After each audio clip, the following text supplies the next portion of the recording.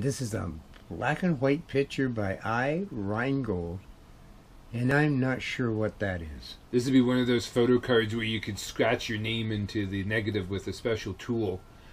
I'm not sure about all this. It looks like it's partially in German, but I, I get these pieces. Munich Opera Festival, uh, wonderful orchestra, marvelous ceremony. The water around and above the rock on this card dripples and flows absolutely naturally.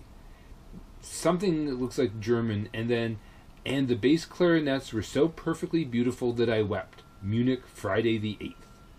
M.D. Brockman. Yeah, and look at how the address has been crossed out. Yeah, it's like it was uh, Somebody had a second thought? some with that return to sender. Yes.